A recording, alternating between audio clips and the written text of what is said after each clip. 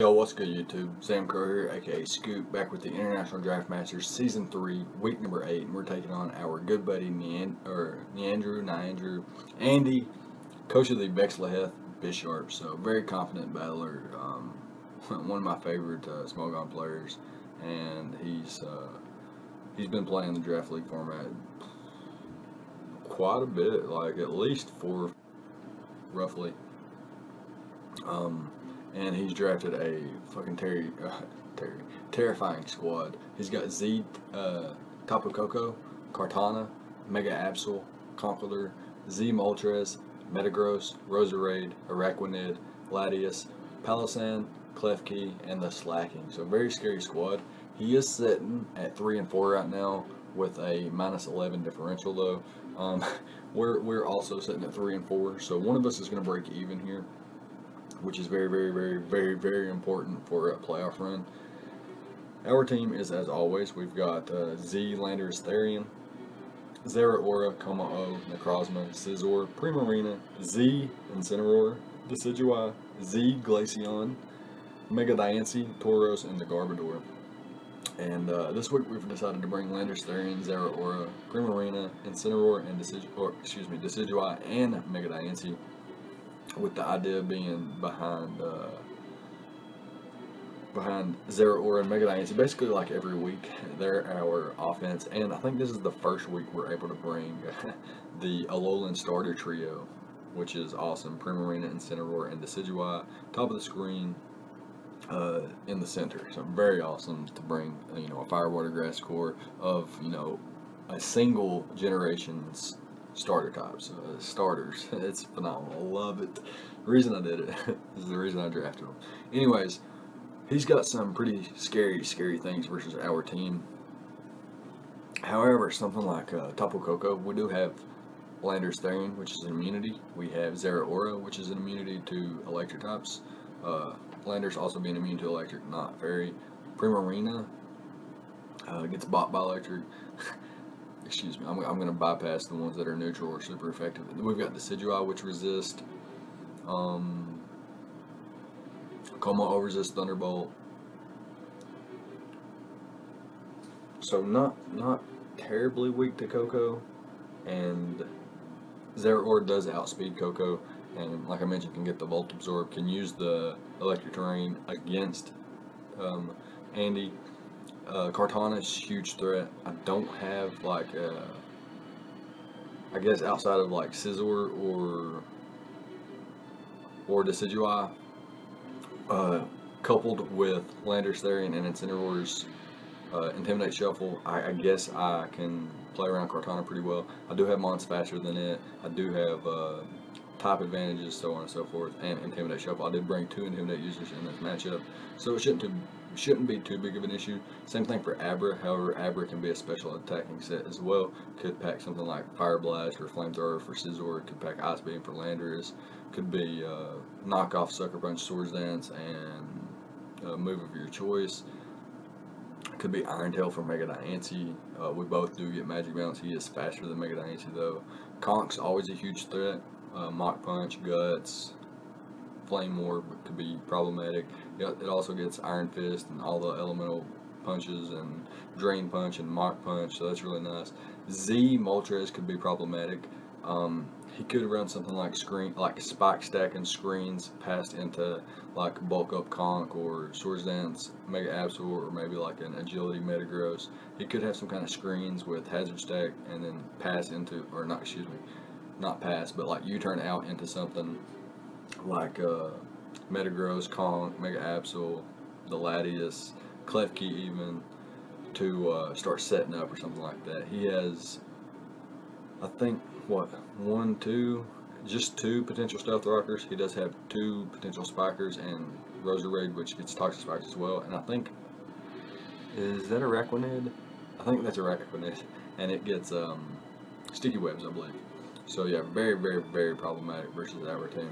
So we're to go ahead and hop into our uh, individual uh, sets here. Our first Pokemon is Landorus Therian, um, designated Stealth Rocker with Defog as well. So it's to be our hazard control on in terms of setting them up and removing them. We've got Earthquake, which hits basically his entire team outside of the, I think, the Moltres, the Lottie, and what else was it? And, maybe like a uh, Magnetized Klefki.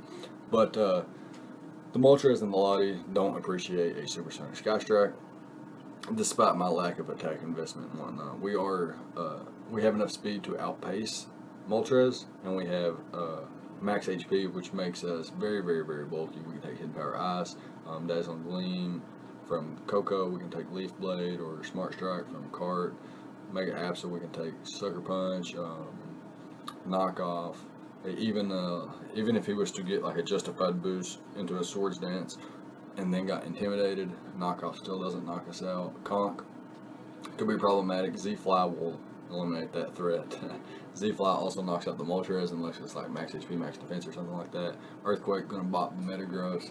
Um, Roserade, it's it, either or. I guess it depends on what range it's at and how like how much I need it dead immediately, so on and so forth. Bops Araquanid, um, gets rid of sticky webs potentially, stealth rock, so on and so forth. Um, able to just hit a very, very powerful Z-Fly versus anything. Intimidate Shuffle is really nice for Kartana, Mega Absol, Conk, Metagross, Araquanid itself, Palossand, and the Slaking. Um, Slaking is a huge threat. I do remember at the beginning of the season when Andy drafted it, he said he did want to bring Banded and take some lives with it. So that's something to look out for. And we do have Scizor, which could kind of check slacking. We do have Mega Diancie, which is a resist, and Decidueye, which is a immunity to normal type. So it shouldn't be too big of an issue, especially with double intimidate shuffle. So it's going to be that, and we can move on to Zeraora. Alright, so we've got a bulk up Life Orb variant for Zeraora, Volt Absorb obviously, and we've got three attacks, Plasma Fist, Fire Punch, and Knockoff. Basically, the best coverage versus my opponent, um, outside of a way to hit Koko super effectively or anything like that. But in, uh, like after, okay, Life Orb, Plasma Fist in the electric terrain is going to be able to like three hit Koko, three hit KO Koko regardless. If I got a bulk up up, I could potentially two hit KO it. Um, it might be a four hit KO without a bulk up, and then a three hit KO with bulk up, or potentially a two hit KO, depending on stealth rocks and you know what range he's at, so on and so forth. However, the idea is to uh, use his terrain versus him, um, get a bulk up with a life orb, and then use plasma fist in the electric terrain. It uh, does quite a bit of damage. he has the Palossand, which is immune the, the Lottie, which is uh, resistant to electric, and then I think that's just about it. Kartana doesn't really count as a resist, but we do have the Fire Punch uh, nonetheless, and we have knockoff for the Palossand and the Lottie, so should be uh, should be pretty solid coverage there. Speed is really nice. We, we can uh, outpace all the way up to Koko with our speed investment and everything below. Uh, this thing's really, really nice in this matchup. Hopefully, it can put in some work, and we can move on to Primarina now. Up is uh, Primarina, like I mentioned. Leftovers, Torrent, Scald, Moonblast, Ice Beam, Encore, Max Defense, Max HP. This is my designated Absol check. Um, we can come in, we can take any one hit into any other hit, and click Moonblast and guarantee knock him out. He has, I think, uh, one one resist to Moonblast and Scald in his Roserade, which does not appreciate Ice Beam. And then we've got Encore so that we can uh, Encore just about anything into just about anything. Really, if he sets up Stealth Rocks with Palossand, we can Encore into that. If uh, Klefki, for example, if it sets up Spikes or it goes for Thunder Wave or whatever it may be, Magnet Rise, whatever it may be, I can Encore into that and make it, you know, pretty much useless. Um, Scald, chance to burn things like Kartana, Mega Absol, Conk, as long as it's not Flame Orb, uh, or Guts, excuse me. Um, Scald's nice versus the Metagross. Moonblast is very nice versus the Mega Absol, um, the Araquanid, the Laddie, so on and so forth. It's a really solid mon in the, in the matchup, in my opinion. It also hits Moltres, can take a hit from Moltres, Hurricane, or Z Hurricane, and can bop it with the uh, Scald, especially if I'm in Torrent. Uh, Scald will just plow through Moltres and um, even things like Mega Absol and Palossand. Uh, you know, if I'm in Torrent range. But yeah, that's going to be it. We can move on to Incineroar. With Incineroar, we're, we're rocking another fake out U-turn knockoff variant with Fire Punch, Intimidate, obviously, Assault Vest. We are max HP, max SPDF with a SPDF boosting nature, minus special attack nature, so that we do get a little bit out of our uh, attacks with Fake Out, U-turn, Knockoff, Fire Punch, respectively. Um, Assault Vest with max HP, max SPDF, and a SPDF boosting nature. Uh, just puts this thing at incredible heights in terms of special defense. Can take hits from Roserade, uh, the Laddie, Klefki, uh, Tapu Koko, in terrain, and not really have too much of a problem. This thing can be a designated lead with Fake Out. Um, it's really nice with Knockoff versus Palossand and the Lottie. The only reason I don't think I could lead with this is because of the Araquanid, but he, he may opt to not bring that thing. And this thing's a pretty solid switch in to Moltres. Takes literally nothing, like Supersonic Sky Strike does around 40 to 45 or something like that um, if it's like a hurricane bearing. Anyways, uh, this thing, like, it gets the Intimidate Shuffle off versus Kartana, Mega, Lap, Mega Absol, and it's really good versus those mons as long as they don't go for the fighting type attack on my switch in. I can always uh, switch into my Incineroar versus Kartana or Mega Absol, get the Intimidate off, and then predict a fighting type move to come out, double out into my Landorus Therian, get another Intimidate off before, you know, switching for the final time at that point. Um, I do think if it's Mega Absol, if I get a two intimidates off and then go into Primarina, he's his moves are bouncing off. We're going to chew those, and then same thing for Kartana. Uh, if we get a double intimidate off, we can go out into Decidueye, or potentially even stay in with Landers or Incineroar, or double back to the other one and get one more intimidate off before. Uh, starting to attack and so on and so forth. But yeah, that's going to be it for Incineroar, and we can move on to Decidueye and finish off this Fire, Water, Grass core. Alright, so Decidueye is going to be a Berry variant, so that we can take a knockoff from something like Kartana, uh, specifically Kartana, but there's other things as well, such as the Mega Absol, the Conkeldurr, uh, potentially Metagross with Pursuit, so on and so forth. I think Slaking also gets uh, Pursuit, so that's something to look out for. So we're a substitute baton pass variant with Swords Dance and Roost. We have no attack. We are we have a little bit of speed investment to creep. Uh, I forgot what it was. We're setting at 217 speed. Maybe, maybe that's definitely enough for like. Uh, actually, I have no idea what that's for, off the top of my head right now. Um, anyways, the idea is to click substitute and baton pass it into something like Zeraora or Mega Diancie if we're lucky, we could potentially baton pass a Swords Dance and a substitute into one of the other, or one of either. And then Roost is there for longevity. We can come in, we can take Kartana's hits, we can take uh, Koko's hits, we can take a Z Brave Bird, um, take hits from Roserade. Can't take a hit from Moltres, but we're not really going to try to do that anyway. And then this thing can, um, like, opponents don't know if I'm going to click U-turn, Spirit Shackle, Leaf Blade, roost, defog, U-turn, so on and so forth. Uh, lots of lots of different viabilities uh, that Decidueye brings to the table, and I think this set could not necessarily do a lot of work for itself, but it could definitely put something else in a position to uh, win. E even like baton passing a swords dance into something like Landorus Therian or Incineroar is really, really, really scary for my opponent. But yeah, we can move on to our last Pokemon, which is going to be our Mega Diancie. Alright, so Mega Diancie is going to be a Protect, Moonblast, Diamond Storm, and Earth Power set.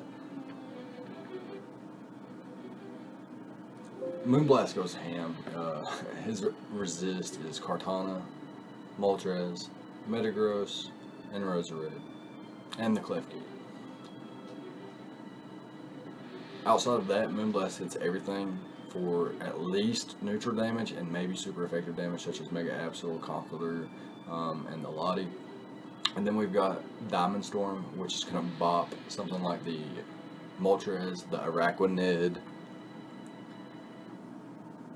and then Earth Power is there for the Metagross specifically. Protect is kind of like a uh, like a scout move, bullet punch on Metagross, spikes or um, target spikes on Roserade, um, maybe check for a potential, like, it's a example, Kartana, if Kartana comes in to Revenge Kill Me, goes for the Smart Strike, I can hard switch out um, accordingly. and I can get rid of terrain turns. I could potentially bypass like uh,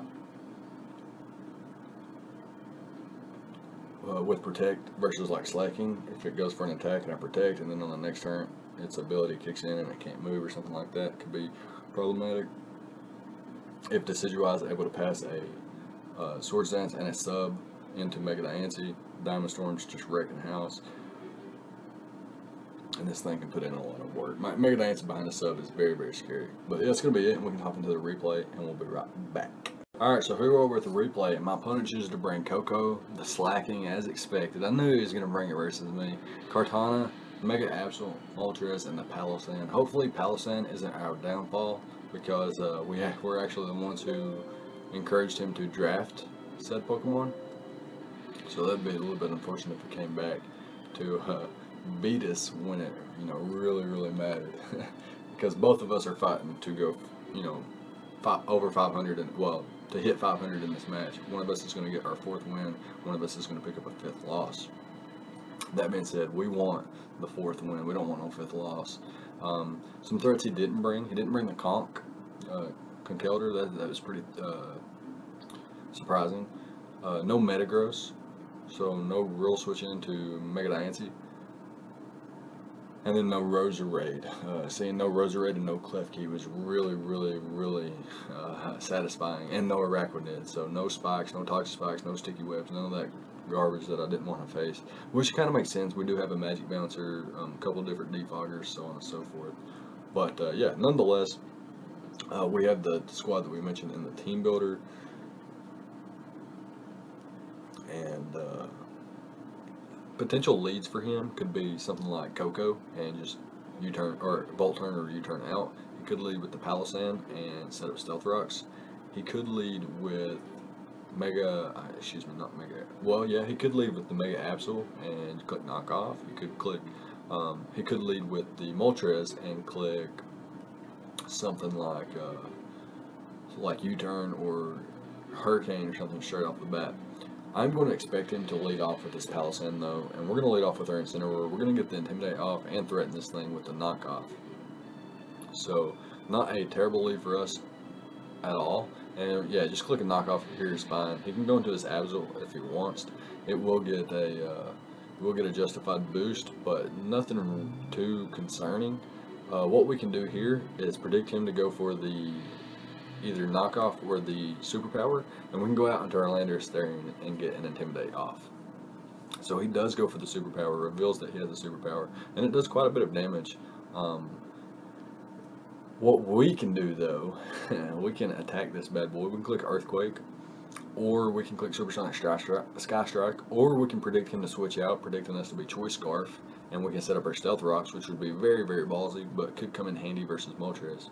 Or we can just double out predicting the Ice Beam and go out into our Primarina, which is what we're going to do as he goes for the knockoff actually and gets rid of our leftovers. That's not too problematic as long as we don't get uh, whittled down too much. And we just click Scald here. No reason not to. Had he went into Kartana, um, he could have potentially been burnt and then nothing else wanted to take a Scald. It, like nothing else really wants to take a Scald. So, as I go into my landers, he makes a really nice uh, really nice double into his uh, Moltres there as uh, we actually do go out into our Therian. So we kind of do force him either back out, scout for Stone Edge or something. We're going to go for the Z, uh, Supersonic Sky Strike, the Z-Fly immediately, see what we can do here. Um, it would have knocked out the Moltres as long as it wasn't like really, really bulky and does a hell of a lot to the Palossand to where we can knock it out with Earthquake and prevent Stealth Rocks in this matchup. So that's really nice. He brings in the slacking here. And uh, I don't want to switch into anything immediately and I don't necessarily need Landorus anymore. So what I'm actually going to do is see what he wants to go for here he could attack me and potentially knock me out, which he does with the double edge, reveals to be very, very offensive. And what we're going to do is we're going to go hard out into our Zeraora here, as we can click Plasma Fist, and double edge then becomes a electric type move, and will give us Volt Absorb, and the Truant ability is here. So what we're going to do is immediately click the bulk up. He doesn't have too much counterplay here, and he goes for the knockoff reveals to be Scarf. Gets rid of her Life Orb, which is kind of nice for us because we don't take recoil. And we're able to knock that thing out with the uh, Fire Punch here. And now he brings in his Absol. I could go for Bulk Up again, predicting the Sucker Punch. But on the off chance that he attacks and then goes for Sucker Punch on the following turn, I don't want to be knocked out. So I'm just going to click the Plasma Fist here. It should be able to pick up the knockout. He has no uh, immunities anymore, so Plasma Fist is free to click. He decides to go into his Koko, setting up his terrain the following turn. Uh, Plasma Fist hits it harder than Knockoff or Fire Punch does, so I'm going to go for that. It's not actually going to be able to knock him out on this turn because of the Reflect, which is actually pretty cool.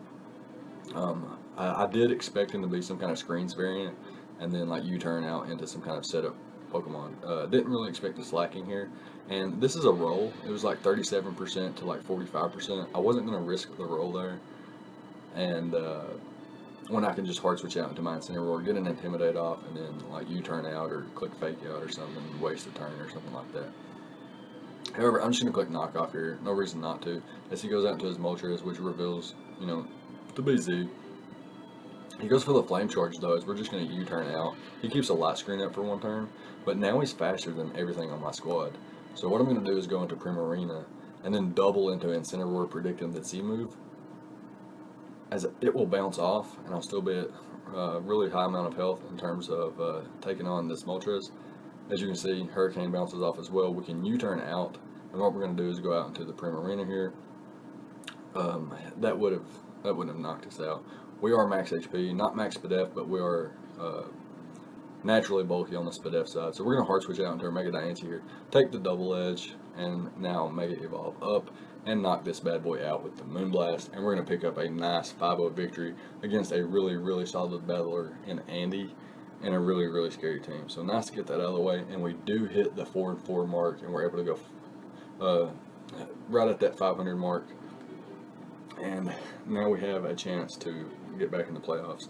Um, basically, every match from here on out is a must-win uh, situation. Like, it might not be at the end of the season all these games might not be must win, but right now as we go, they are must win. We can't fall behind again. We can't fall to a losing record again. We've got to get into a playoff position and make our sneak our way into playoffs and potentially win this season three title. But uh, yeah, that's going to be it. Good game to Andy. Let me know what you thought about the prep and the plays on both sides of the field. Leave a like, comment, and subscribe. All the good stuff, and I'll see you guys next time. Thank you for watching.